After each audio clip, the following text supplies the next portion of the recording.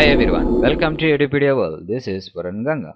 Guys, in the last session we have learned many examples regarding case number 1 Varada Siddhantam Chudamani Sutram. But in this session, we are going to see case number 2 Varada Siddhantam Chudamani Sutram.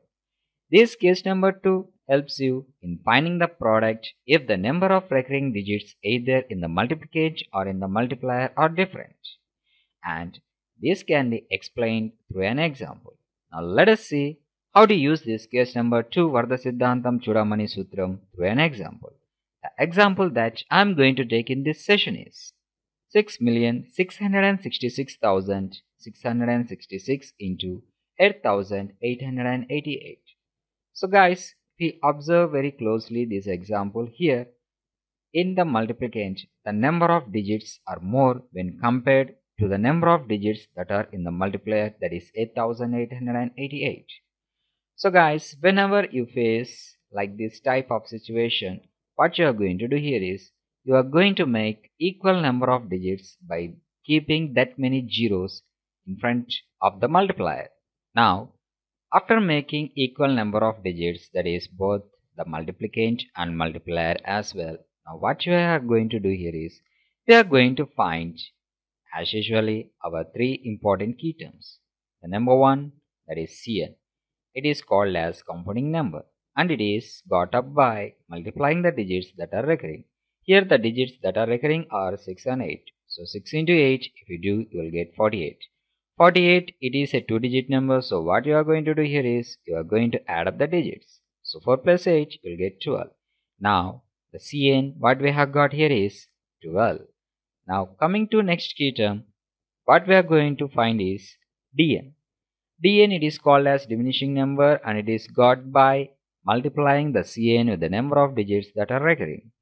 And here the cn what we have got is 12 and here the number of digits what we have to take is 4. Why? Because here whenever you are finding the dn, you have to take the number of digits that are recurring less. So here the least number of recurring digits are the multiplier that is 8888 and there are only 4 8s. So I am multiplying here the number with 4. That is 12 into 4 you will get 48 again and again it is a 2 digit number so you have to add up the digits so 4 plus 8 you will get 12 again and therefore dn what we have got here is 12 and let us find the number of digits that are going to be in the answer and I think you know how to find that. We have to add the number of digits that are in multiplicand as well as in multiplier. So 7 plus 4 you will get 11. So number of recurring digits here both in the multiplicand are 7 and in the multiplier are 4. So 7 plus 4 will get 11 and therefore we can say that the number of digits that are going to be in the answer is 11. And now let us see the process how we have to use this case number 2 Varada Siddhantam Sutram in finding the product for the given example. Process goes like this. So now here if you observe the table very closely in the first step what we have done here is we have multiplied the digits that are recurring. So 6 into 8 you will get 48. It is a two digit number so we have to ignore 4 and we have to take 8 and we have to write it in the answer in the first digit from the right side. Moving further to step number 2, we have to add the Cn with the first digit what we have got in the answer. So 12 plus 8, you'll get 20. It is a two digit number so we have to take 0 that is the digit in ones place and we have to write it in the answer in the second digit from the right side and we have to take the carry on 2. Moving further to step number 3, again we have to add the Cn with the second digit what we have got. So 12 plus 0 you will get 12 itself but there is a carry on called 2 we have to add to it and you will get the sum 14. 14 again it is a two digit number so we have to take 4 in the third place of the answer from the right side and we have to take 1 as carry on. Moving further to step 4 again we have to add Cn's third digit. If you add Cn and the third digit you will get 12 plus 4 you will get 16 as a sum but there is a carry on 1. By adding to it, you'll get 17 as a sum. 17, it is a two digit number, so we have to take 7 in fourth place and we have to ignore 1. You know why I'm ignoring 1?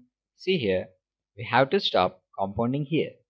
since we have reached the number of digits of multiplier. So now we have to put directly the value of dn in 5th place, 6th place and 7th places. And after that, then we have to start complementing as we have reached to the end of multiplication. I think you have understood the process. So we do this process of compounding until we reach to the lesser number of recurring digits and the remaining digits are filled with the dn's and it is done until we reach to the higher number of recurring digits and the process goes like this.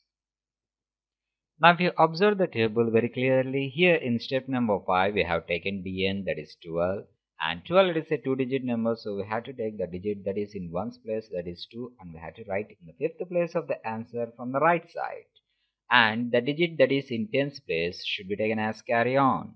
Moving further to step number 6 we have to add the dn with the carry on what we have got. So 12 plus 1 you will get 13. 13 it is a two digit number so we have to take the digit that is 3 in sixth place of the answer from the right side and we have to take 1 as carry on. Moving to step number 7, again we have to add dn with the carry on what we have got. So 12 plus 1, you will get 13. 13, it is a two digit number, so we have to take 3 in 7th place and we have to take carry on as 1. Now, moving further to step number 8. Here, what we have got here is 7 digits of the answer. And we are going to stop now. And we are going to subtract only the first, second, third and fourth digits from that many dns. You know why? Because because the number of digits that we have got in the answer are taken to deduct based on the lesser recurring number of digits that is here multiply. Now let us see the process how we are going to deduct. Here I'm going to write all the dns that is 12, 12, 12, 12 and below that 7408. And I think you have remembered that in step number 7 there is a carry on one and it should be added to here. So 12 I have put a dot just 1. So number of dots here are 1 and 12 plus 1 you will get 13. So 13 minus 8 usually you will get 5. So 12 minus 0 you will get 12 but 12 it is a two digit number so we have we should not take like that. So what we are going to do here is we have to write only 2 that is the digit in one's place and the 1 should be taken as carry on to another 12. So here again 12 plus 1 you will get 13 and 13 minus 4 is 9 and 12 minus 7 what you will get is 5. Now by combining all the digits what we have got that is 5925 and 332 and 7408 you will get the final answer and therefore you can say that 6,666,666 into 8,888 is equals to 5925332748. That is 59,253,327,408. So guys, this is the way how we can use case number 2 Vardha Siddhantam Chudamani Sutram to find the product when the number of digits that are in the multiplier or in the multiplicand are lesser when compared with the number of digits that are in the multiplicand or in the multiplier. So guys, I hope that you have understood pretty well how to use this case number 2 Varada Siddhantam Chudamani Sutra.